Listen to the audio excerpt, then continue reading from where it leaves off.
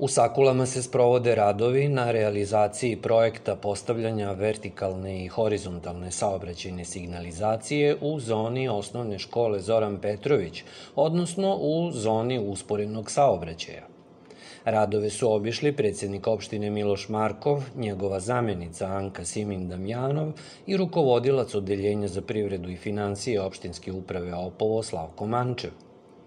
Zamenica predsednika opštine Anka Simin Damjanov je istakla važnost bezbednosti dece u saobraćaju, pridržavanja saobraćajnih propisa u zonama škola, kao i neposredne edukacije dece od strane roditelja. Danas provodimo projekat u oblasti bezbednosti saobraćaja, tiče se postavljanje saobraćajne signalizacije u naseljenom mestu Sakule.